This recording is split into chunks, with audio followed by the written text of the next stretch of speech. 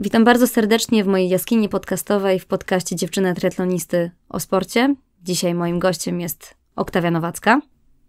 Cześć. Dla osób, które Cię nie znają, bardzo proszę, żebyś się przedstawiła. Oktawia Nowacka, polska pięcioboistka, medalistka Igrzysk Olimpijskich, pasjonatka zdrowego stylu życia, rozwoju wewnętrznego, duchowego i pasjonatka podróży. To właśnie ja. Bardzo mi miło, że jesteś tutaj ze mną i mam nadzieję, że przybliżysz mi trochę temat weganizmu czy wegetarianizmu. Kim ty jesteś? Jak można cię zdefiniować? E, weganka, wegetarianka, bo będziemy rozmawiać o twojej drodze sportowej, o, o tym, jak ty dojrzewałaś do pewnych decyzji żywieniowych i jak one wpływały na twoje wyniki sportowe. No, najpierw muszę zacząć od tego, że bardzo nie lubię takiego szufladkowania, czyli weganizm, wegetarianizm to nazwy, które zazwyczaj się kojarzą z jakimiś ograniczeniami. Ja oczywiście często ich używam, żeby sprecyzować, y, co dokładnie jem albo jaki styl życia prowadzę, ale myślę, że nie powinniśmy ograniczać się do tych widełek. Ja zdecydowanie bardzo bardziej wolę mówić zdrowy styl życia albo świadomy styl życia. To bardziej mi odpowiada. I też nie sprawia, że zamykam się w jakichś schematach i zaraz ktoś mi powie: Halo, jesteś weganką, dlaczego jedziesz na drugi koniec świata, a w twoim talerzu pływa trochę śmietany, tak? Bo e, nie o to w tym wszystkim chodzi. Ja uważam, że w każdej diecie i w każdym sposobie życia chodzi bardziej o zachowanie równowagi. Ja na co dzień w domu, kiedy gotuję, odżywiam się faktycznie wegańsko. I weganizm to styl życia, który mm, nie powoduje, że w jakikolwiek sposób wykorzystujemy zwierzęta. I to nie jest tylko odżywianie, to nie jest tylko brak mięsa w diecie, w diecie innych produktów odzwierzęcych, ale to jest ogólny szacunek do zwierząt. To jest niekorzystanie z kosmetyków, które są testowane na zwierzętach, niechodzenie do cyrków, które wykorzystują zwierzęta, nieużywanie futer, skór, czyli ogólna dbałość o, o dobro zwierząt. Wegetarianizm z kolei to jest bardziej styl żywienia, który wyklucza mięso, ale już nie wyklucza nabiału, nie wyklucza ryb. Oczywiście tych odmian wszelkich jest też jeszcze więcej, dlatego nie lubię skupiać się hmm, na nazewnictwie, a na tym, żeby świadomie dokonywać wyborów, które są dla nas najlepsze i najlepsze i takie zgodne z naszym właśnie sumieniem. Ale nazewnictwo podciąga za sobą jakieś konsekwencje. Mimo wszystko, określanie siebie jako wegankę, tak, jestem weganką, w tym momencie odrzucam pewne produkty, to jest dość duża grupa produktów, yy, która dla sportowca yy, jest powiedzmy kluczowa. Dużo osób tak mówi, jednak jak weganie, jak wegetarianie, jak radzą sobie bez mięsa, jak dostarczają sobie białko. Yy, ty udowodniłaś, że jest to możliwe. Miałaś kontuzję, y, miałaś różne problemy zdrowotne, mm, dojrzewałaś do tej decyzji pewnie dłuższy czas. Nie można pewnie z jednego dnia powiedzieć sobie od dzisiaj jestem wege, e, ale pokazałaś, że to się uda, jest to możliwe. Tak, zdobyłaś medal, pojechałaś e, na Igrzyska do Rio, wywalczyłaś brąz i wtedy już byłaś e, wegetarianką, weganką, weganką.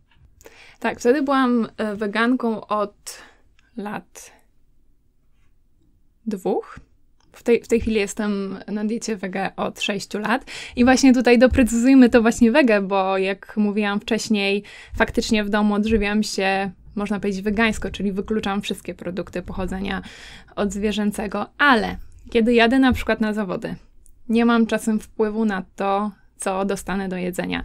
I wtedy faktycznie nie jem mięsa nigdy, ale zdarza mi się, że na przykład będę potrzebowała w danej chwili nabiału albo ryby, bo nie mam na przykład wyboru, tak? Jestem na zawodach sportowych i muszę do, do tego podejść odpowiedzialnie. Tak samo, kiedy podróżuję i jestem w różnych zakątkach świata. Tak samo zdarza mi się zjeść złowioną rybę przez rybaka w jakiejś e, na rzece w Ameryce Południowej, tak?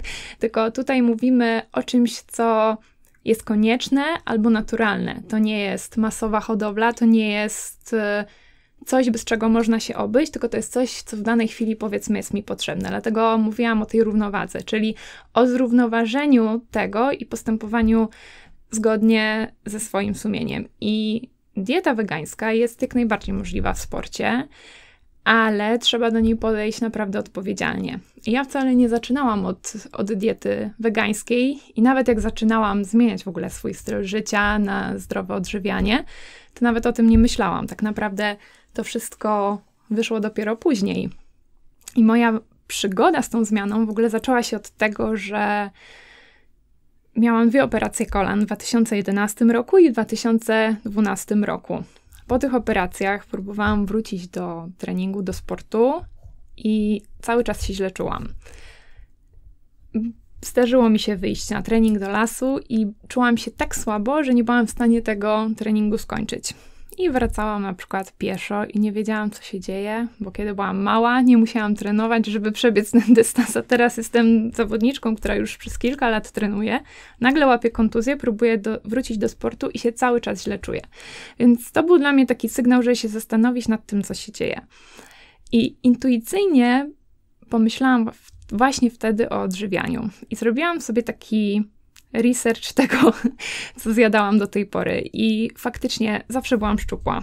I myślałam, że to mi usprawiedliwia mm, do tego, żebym, że mogę przecież jeść co chcę, tak? To czy zjem trzy tabliczki czekolady dziennie, czy, czy do tego jeszcze dodam paczkę chipsów i kole, nie ma znaczenia, bo przecież cały czas wyglądam tak samo, tak? Skoro idę na 3-4 treningi, to i tak to spalę.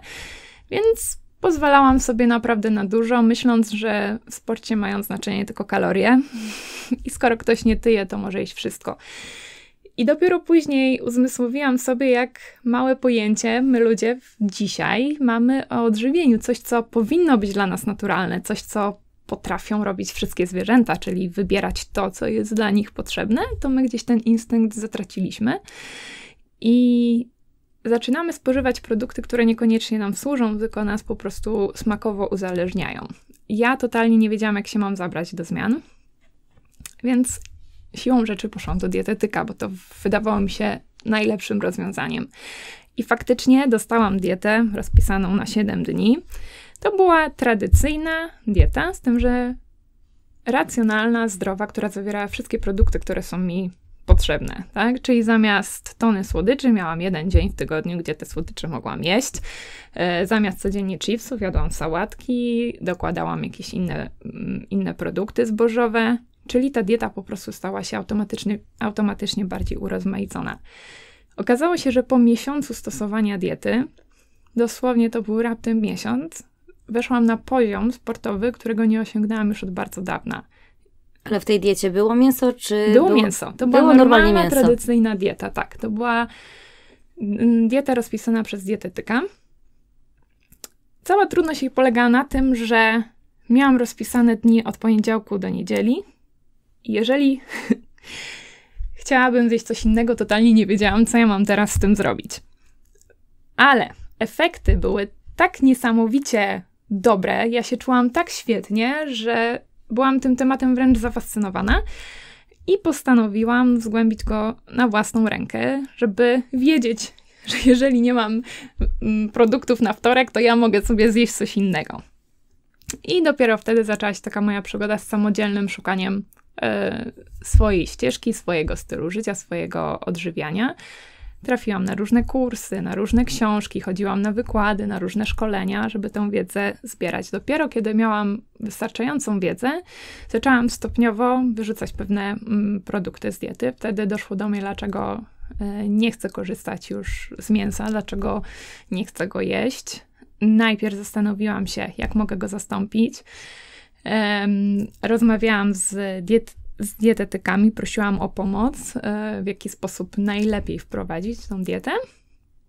I tak, I tak już zostało. I z mojego doświadczenia powiem tak, bo dużo osób się upiera, szczególnie tych wege, że styl wegański jest najlepszy z możliwych. Ja powiem tak, u mnie naj, największą poprawę wyników sportowych i samopoczucia uzyskałam po prostu zaczynając jeść zdrowo, czyli używać wszystkich produktów, zdrowych produktów, wyrzucając śmieciowe jedzenie. Mój organizm wtedy odżył.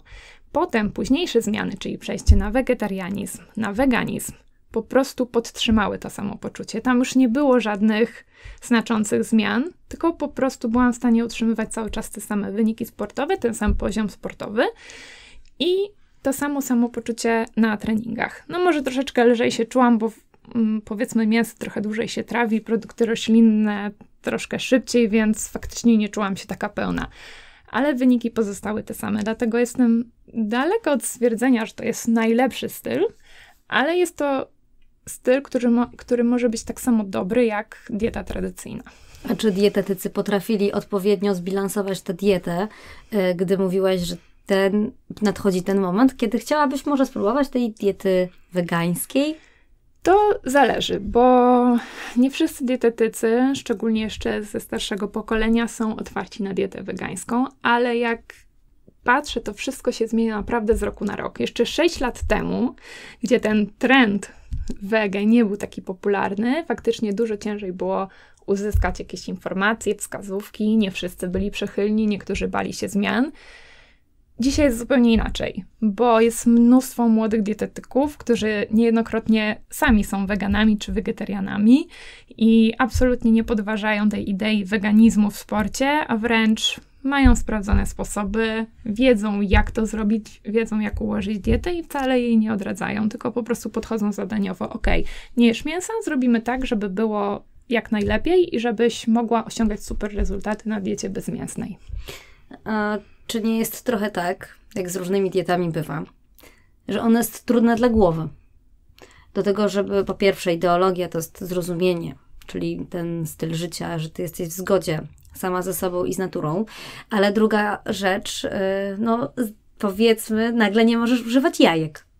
Nie możesz używać produktów odzwierzęcych. Jak sobie radzić z tym, e, z głową, która po pierwsze masz duży nakład treningów, ile w e, czasie swojej kariery sportowej tutaj przed igrzyskami to było treningów ile dziennie? treningu dziennie? Trzy, cztery. Trzy, cztery treningi dzień. dziennie. Mhm. Pięciobój, pięć dyscyplin, cztery treningi dziennie. Gdzie tu znaleźć czas jeszcze na ugotowanie sobie czegoś i jeszcze z takimi restrykcjami?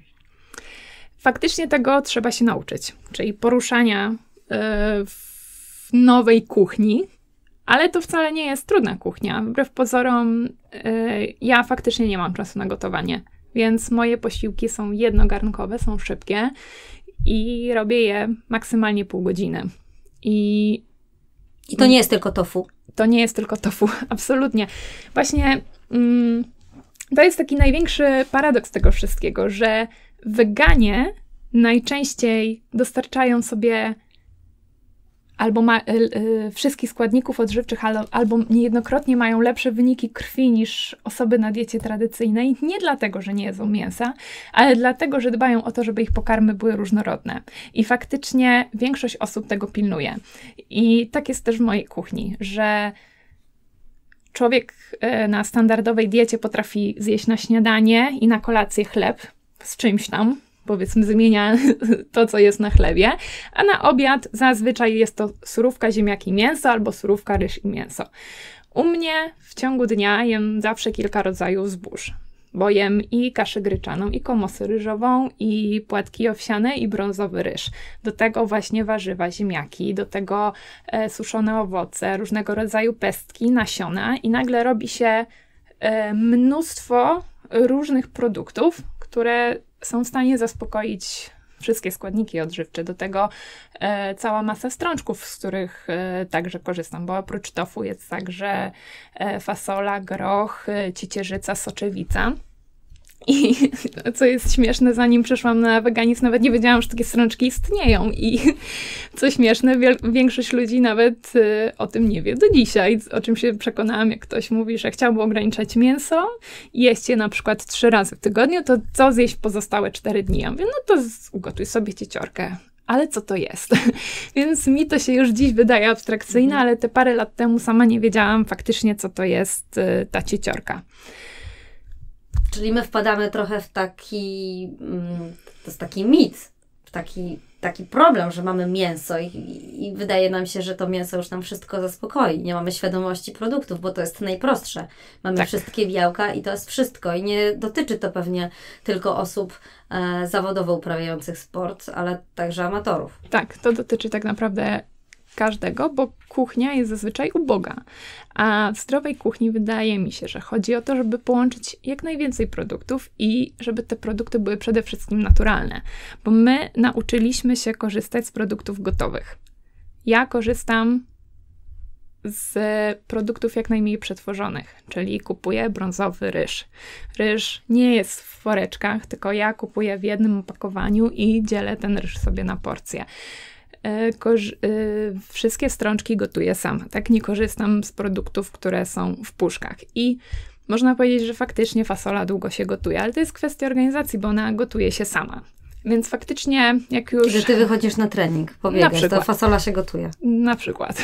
Wczoraj wyszłam na spacer z psem, w tym czasie ugotowała się fasola.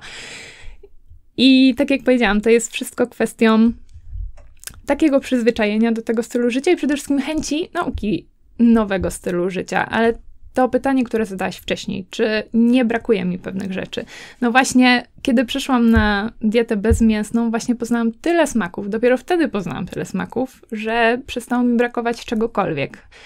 I odkryłam, że można zrobić zdrowe brownie z fasoli albo z daktyli, że to wszystko jest równie słodkie, a nie zawiera tony cukru, że można ten cukier zastąpić naprawdę wartościowymi rzeczami. I nie wpychać w siebie czegoś, co jest po prostu pustą kalorią i nie przynosi niczego dobrego dla naszego zdrowia.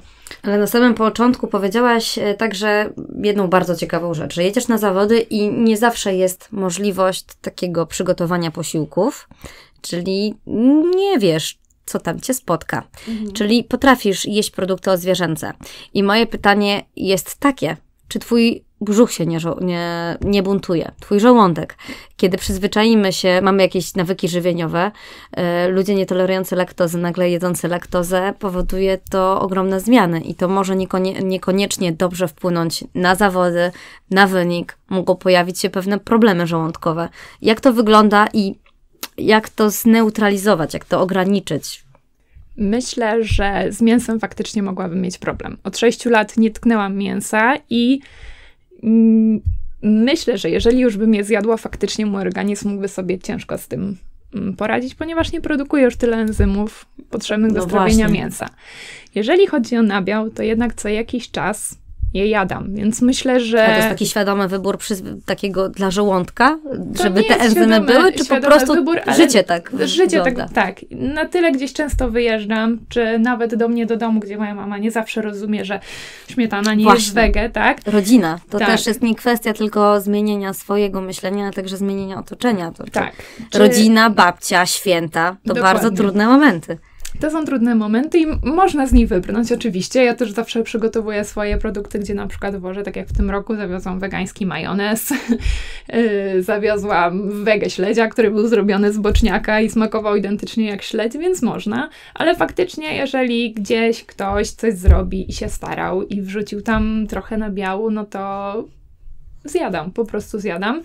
Yy, oczywiście mówię o jakie mam gdzieś tam zasady, mówię o tym, że gotuję sobie wegańsko, ale jeżeli gdzieś wyjeżdżam, to mam taką zasadę, że nie będę robiła jakiegoś tam większego problemu, ale też przede wszystkim sobie, bo muszę też pamiętać o tym, żeby faktycznie jako sportowiec dostarczyć sobie tych wszystkich składników odżywczych, które muszę dostarczyć, bo zdarzało mi się być na zawodach, gdzie codziennie było mięso, ziemniaki i surówka. No to jedząc codziennie ziemniaki, nie wytrzymałabym tygodnia zawodów, tak? Więc trzeba sobie jakoś radzić i świadomie ułożyć wszystko tak, żeby było dobrze. Ale przeciwnicy diety wegańskiej mówią wielokrotnie, że pojawiają się, y, nie wiem, alergie, że czegoś nam brakuje. Są pewne efekty uboczne yy, i pojawiają się takie głosy, takie medyczne. Jest też grupa medyków lekarzy optujących bardzo za dietą wegańską, za dietą keto, bo na wszystko są badania. Każdy ma swoje badania na wszystko i pokazuje to wyraźnie, że bierze jakąś próbkę jakichś sportowców, jakichś ludzi normalnych i to, na to wszystko są badania. I właśnie przeciwnicy diety wegańskiej mówią, że wielokrotnie pojawiają się alergie. Nie słyszałam, ani żadne alergie nie zdarzyły się też u mnie, więc ciężko mi się jest wypowiedzieć w tym temacie. Nie znam też osoby, na której przykładzie mogłabym coś takiego potwierdzić. Po prostu jest to akurat temat dla mnie nieznany. Ja jestem w kontakcie z dietetykiem, który jest dietetykiem sportowym, który sam jest na diecie wege i absolutnie gdzieś tam, jeżeli powołuje się na badania naukowe, nie jest, nie ma jednoznacznego tak jakby przeciwwskazania do, do diety wege. Mhm. Oczywiście wszystko zależy od stanu zdrowia człowieka, od tego, jakie ogólnie ma nietolerancje pokarmowe, ale jeżeli ktoś jest zdrowy, nie ma żadnych problemów, jeżeli chce przejść na dietę wege, to faktycznie taką dietę można ułożyć i nie ma do tego przeciwwskazań.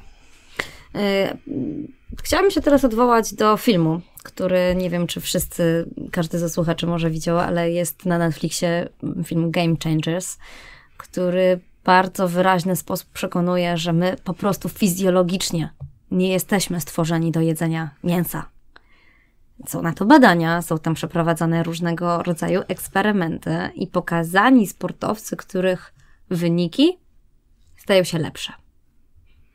Widziałaś film? Widziałam film. I jakie wnioski? Powiem tak, jako weganka na pewno powinnam się cieszyć, że taki film powstał, tak? O, fajnie, ktoś w końcu powiedział coś przychylnego o sportowcach, którzy są na diecie wege. I faktycznie uważam, że film warto obejrzeć. Jest tam na pewno wiele ciekawych wątków poruszanych, ale tak jak już e, zdążyłam zorientować się w temacie, to nie wszystkie badania, które tam są przekazane, faktycznie y, są prawdziwymi badaniami naukowymi albo zgadzają się z prawdą. Prawda jest taka, że faktycznie można być sportowcem, można być na diecie wege i robić super wyniki. Pytanie, czy super wyniki przychodzą od tego, że nie je się mięsa, czy od tego, co powiedziałam na początku, po prostu dba się o to, żeby jeść zdrowo, to już jest druga sprawa, tak? Mhm. Poza tym w sporcie jest jeszcze jeden czynnik i według mnie najważniejszy. To jest głowa i nastawienie do wyniku, który chcemy osiągnąć. I niejednokrotnie spotkałam się z sytuacją i sama nawet taką sytuację przeżyłam, że jeżeli zawodnik jest gotowy na sukces, jest gotowy na wynik i nastawiony w 100% na osiągnięcie tego wyniku, to nawet jakieś niedociąg niedociągłości w jego diecie, sposobie życia nie mają tutaj znaczenia. I to charakteryzuje też wybitnych sportowców, którzy po prostu tak bardzo chcą, że po prostu im to wychodzi. Ale ty pojechałaś na igrzyska trochę na odpuszczeniu. Ja boję. Jak to wyglądało? To było tak, że była zmiana jakaś w głowie. Dieta już była dwa lata stosowana, wegańska, zmiana diety, zmiana podejścia i trochę było odpuszczenia. Czy, czy nie? Czy nie tak była... byśmy tego nie, po prostu nie określiły? Nie, to nie była kwestia odpuszczenia. Y, ja miałam kontuzję na pół roku przed igrzyskami. To była kontuzja rozcięgiem podeszwowych i faktycznie w tych pod, y, rozcięgach zrobiły się dziury na tyle gdzieś tam moc, mhm. duże które, i przeszkadzały mi w takim codziennym trenowaniu, bo przez pięć miesięcy nie byłam w stanie praktycznie biegać, bo od stycznia próbowałam wyleczyć kontuzję, cały czas coś, o dziwo jeszcze mogę tutaj wspomnieć, że mm, pani e, pani ortopedka, z którą współpracowałam, powiedziała mi, że na czas zaleczania rozcięgien mogłabym zrezygnować z mięsa, bo ścięgna szybciej się mhm. regenerują, kiedy się tego mięsa nie je. Ja jej powiedziałam, że nie jem mięsa, więc ona powiedziała, dobra, to dobrze, to, e, to nie zaczyna jeść w tym momencie. E, I tak się stało, że faktycznie przeciążyłam te rozcięgna. Bardzo ambitnie podeszłam w ogóle do sezonu, e, także do poprzednich lat treningowych. Trenowałam bardzo dużo, bardzo ciężko i gdzieś te rozcięgna nie, nie wytrzymały. I kiedy myślałam, że to jest kontuzja, którą da się bardzo szybko zaleczyć, to przeciągała się do marca próbowaliśmy różnych sposobów, nic się nie dało z tym zrobić, a wiadomo, to był rok olimpijski. Ja miałam 8 miesięcy do startów, a już 3 miesiące nie byłam w stanie biegać. Więc wiadomo, wiadomo, co taki zawodnik sobie myśli. Ja byłam kompletnie załamana. Tym bardziej, mhm. że myślałam, że przygotowanie do igrzysk to już będzie tylko formalność, bo ja tą kwalifikację olimpijską zdobyłam rok wcześniej, czyli byłam jedną z pierwszych Polek, które miały kwalifikację. Więc bezpiecznie weszłam sobie w trening z myślą, że zrobię wszystko, żeby jak najlepiej przygotować się do tych igrzysk. I tu się pojawił taki element zaskoczenia, coś, czego nie mogłam przewidzieć i coś, czego no nie chciałam. I dopiero w maju podjęliśmy decyzję o tym, żeby zrobić zabieg na te rozcięgna. I pod koniec maja, na przełomie maja właśnie i czerwca zaczęłam wchodzić w trening biegowy. To były na początku truchty. Ja do igrzysk nie wróciłam do tego treningu, który robiłam wcześniej. Mhm. Czyli pojechałam na igrzyska, w ogóle nie wracając do pełnej ilości treningów, którą robiłam wcześniej.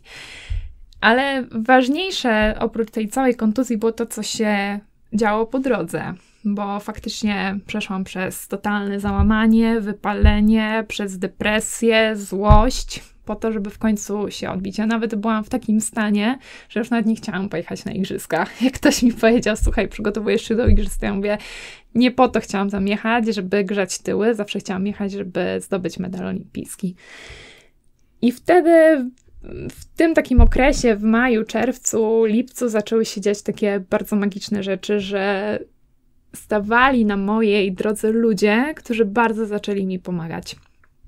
I tym sposobem dotarłam. W ogóle ja to mówię, yy, że to był efekt motyla, bo do tego spotkania doszło w tak zadziwiający sposób, na który zbiegło się wiele zdarzeń, ale poznałam w końcu mojego trenera mentalnego, który poprowadził mnie bardziej w sposób duchowy, mentalny do igrzysk, który zostawił moją kontuzję, zostawił moje ciało i skupiliśmy się tylko na głowie, na tym, co jestem w stanie tą głową dźwignąć. I faktycznie dało to niesamowite rezultaty, bo pojechałam na igrzyska, ciesząc się, że tam jadę, po prostu się ciesząc. Wiedziałam, że nie jestem tak samo fizycznie przygotowana jak moje rywalki, ale wie, wiedziałam, że jestem tak spokojna, tak silna wewnętrznie, że nieważne co się wydarzy, będzie dobrze. I z takim nastawieniem właśnie startowałam przez cały dzień i najbardziej było niesamowite to takie wewnętrzne przekonanie. Ja nie miałam nad nim kontroli, ono po prostu było we mnie, że nic nie może pójść nie po mojej myśli. Po prostu to był dzień, dzień, gdzie wszystko musiało pójść dokładnie tak, jak miało pójść. I ten wewnętrzny spokój i taka pewność tego wszystkiego i wiara w to, że wszystko będzie dobrze, pozwoliło mi właśnie na osiągnięcie tego wyniku. Więc ten wynik był kwestią naprawdę no, siły mentalnej, wewnętrznej mhm. siły, którą, którą udało mi się zbudować przez te miesiące kontuzji. I elementów składowych. I elementów Dobrze, składowych, tak. Już jest to wyjaśnione. To nie było odpuszczenie, to było coś zupełnie innego. Yy, jesteś sportowcem światowej e, klasy, więc poznajesz różnych innych sportowców także. Czy masz przykłady osób, które żywią się podobnie jak ty, które osiągają wyniki, które też przeszły przez taką drogę, bo jak wiemy, e, tych sportowców w Polsce jest stosunkowo niewielu. Tak, jest niewiele w Polsce, aczkolwiek faktycznie jest coraz więcej tych sportowców i faktycznie takich poznałam. Część z nich jest w sportach nieolimpijskich, więc też mniej o nich słyszymy. W sportach olimpijskich tak wiele osób się nie decyduje, aczkolwiek bardzo dużo osób zdecydowało się na ograniczenie mięsa. Czyli to też świadczy o tym, że nie trzeba jeść mięsa dużo, żeby osiągać dobre wyniki. Można je ograniczyć i po prostu zastąpić różnymi innymi produktami. I to jest w ogóle bardzo bezpiecznym rozwiązaniem. Masz jakieś takie mnie. przykłady? Z kimś utrzymujesz kontakt? Bo rozumiem, grupę wsparcia e, ludzi jedzących wegańsko, czy po prostu jest ci to totalnie niepotrzebne? Dlaczego pytam? E, sami po prostu staramy się ograniczać mięso. Jest to dość trudne. Trudne, dlatego że rodzina nie jest właśnie przystosowana, to też się pytałam, ale ty jak już wiem, przywozisz swój wegański majonez i jest sprawa załatwiona. Ja mam ten problem jeszcze, że nie za bardzo lubię gotować. I jest mi bardzo trudno niektóre rzeczy jakoś połączyć. Mięso wydawało zawsze mi się najszybszym sposobem e, ogarnięcia tego. E, Maciek Bodnar, narzeczony, stara się ograniczać mięso też z bardzo takiego powodu, że po prostu jest to lepsze dla żołądka. To jest dla, dlatego pytam się, czy jest potrzebna jakaś grupa wsparcia, bo nam mamy takie osoby, z którymi po prostu muszą podzielać tę naszą pasję, żeby chcieć się z nami spotkać, zjeść wegańską pizzę i nam to jest po prostu potrzebne. Nie było mi to potrzebne, może też dlatego, że jak zaczynałam, to nikogo nie znałam. Byłam zupełnie sama i czułam się też zupełnie sama. No, był mój narzeczony, który faktycznie przestał jeść mięso niedługo po mnie i wcale nie z mojego powodu, naprawdę nie namawiałam go do tego, po prostu zawsze mu dałam wolną rękę we wszystkim, ale stwierdził, że chce tak jak ja. I faktycznie to na pewno ułatwiło bardzo, bo jakbyśmy mieli w domu gotować po dwa posiłki, to byłoby dużo trudniej. W związku z tym, że jemy to samo, nie sprawia nam to problemu. Znam dużo osób nietrenujących, którzy ograniczają mięso albo tego mięsa nie jedzą, ale też dużo osób poznałam przez to, że nie jem mięsa, bo zaczęły się do mnie zgłaszać albo mówić, że o, cześć, bo ja też nie jem mięsa i tak nagle się rozpoczynały jakieś e, nowe znajomości. Sportowców wyczynowych też znam mm, i w Polsce i za granicą jest też nawet jedna pięcioboistka, która również jest na diecie wegańskiej. Załapała się w tym roku już na igrzyska olimpijskie, znaczy, które będą w, w tym roku, a zdobyła kwalifikację w zeszłym roku. Jest jeszcze młodą zawodniczką, jest mistrzynią świata młodzieżowców, czyli startowała jeszcze w tym roku, w zeszłym roku jako młodzieżowiec, wygrała Mistrzostwa Świata, a w tym roku już e, jedzie na Igrzyska Olimpijskie. I pokazuje, że można i wydaje mi się, że ona jeszcze bardziej jest radykalna niż ja, bo ja gdzieś potrafię elastycznie do tego podejść, ale z tego co widzę, to ona potrafi przywozić torby z jedzeniem na, na zawody, więc faktycznie szacunek, że jest w stanie to, e, to wszystko ogarnąć.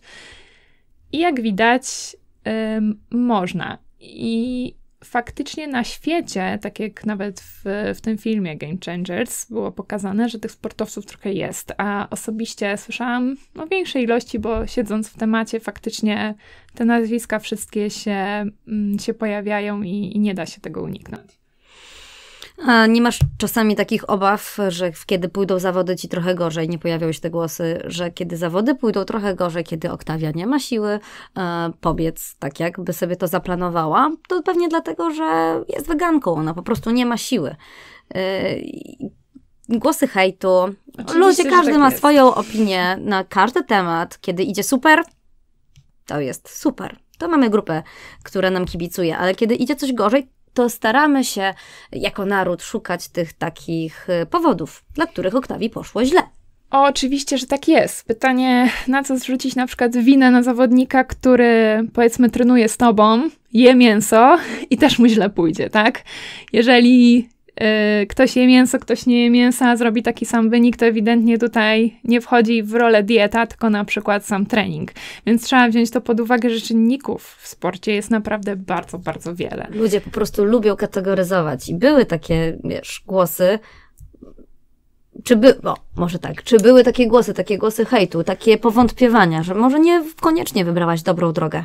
Oczywiście, że były i tak naprawdę są do dziś. Ludzie lubią mówić, lubią rozwodzić się nad, czy, nad czyimś życiem, a nie swoim, ja im do tego daję prawo. Jeżeli mają ochotę, proszę bardzo, jeżeli to ma im ten ciężar cały z serca zrzucić, to mogą sobie mówić tak, bo ja jestem na to odporna i robię coś, z czym się dobrze czuję. A zawsze byłaś odporna?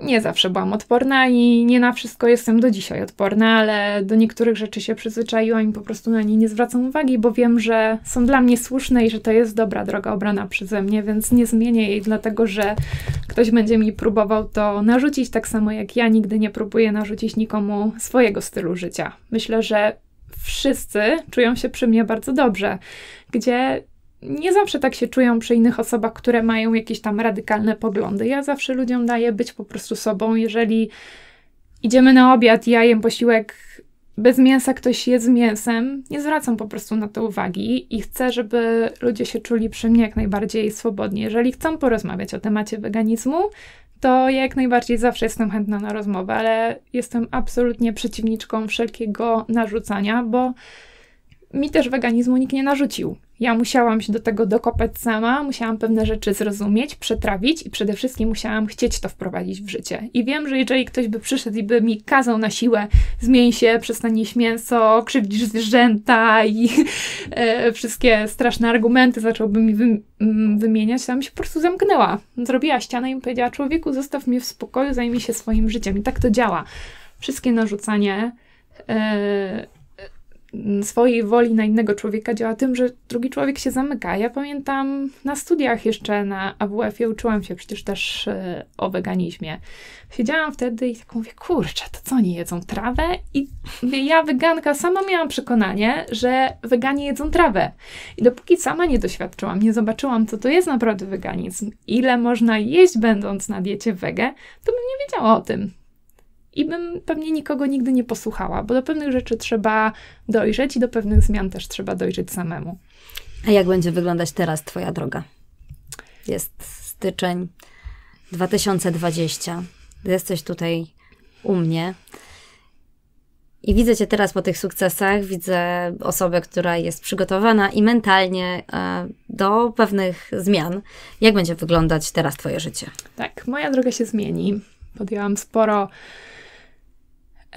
sporo decyzji, zmian, których nie planowałam do końca właśnie w tym czasie. Mamy rok olimpijski Mamy 2020. rok olimpijski, tak. Ja podjęłam no, dosyć odważną decyzję, bo postanowiłam zakończyć moją karierę sportową z powodów wielu, których y, wszystkich nie będę, nie będę tutaj mówić, ale... To jest pewnie temat na oddzielną rozmowę. To jest temat na tak. oddzielną rozmowę, ale uważam, że pewne rzeczy w życiu trzeba zakończyć wtedy, kiedy podpowie, podpowie serce. Ile lat trenowałaś? Od którego roku życia?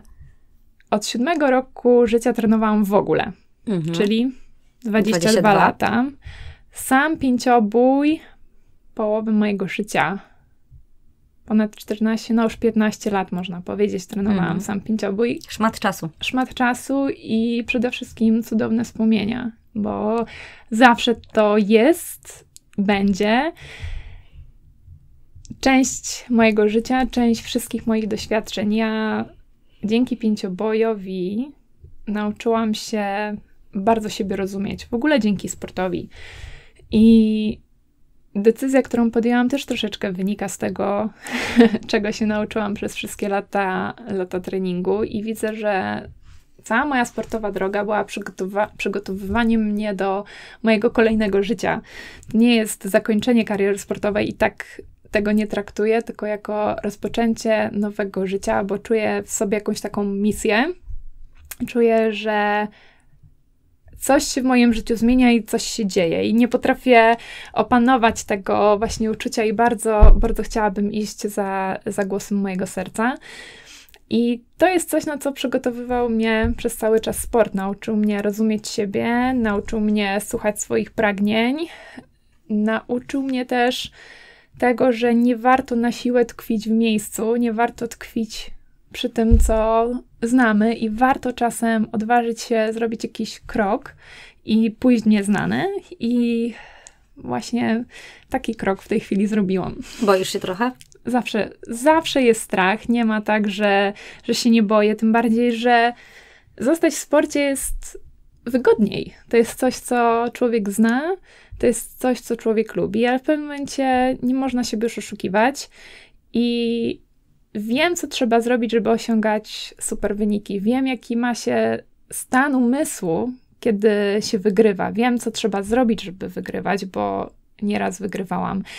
I kiedy tego nie ma z jakiegoś powodu, to znak, że człowiek wskoczył już na jakiś wyższy poziom, potrzebuje innego bodźca, potrzebuje czegoś innego. Wszystko jest celem do czasu, kiedy go, kiedy go nie osiągniemy. Ja swój największy sportowy cel osiągnęłam i na siłę chciałam sobie wyznaczać kolejne, ale moje kolejne cele już są w tej chwili pozasportowe i w końcu miałam odwagę, żeby się do tego przyznać. No to na tym zakończymy. Pięknie, pięknie powiedziane. Ja Ci bardzo, Oktawia, dziękuję za tę rozmowę. Będziemy trzymać kciuki za kolejne projekty. Mam nadzieję, że się może spotkamy przy okazji kolejnego wielkiego projektu. E, dzięki wielkie, to była Oktawia Nowacka. Dziękuję Wam za wysłuchanie podcastu Dziewczyna Triatlonisty o sporcie.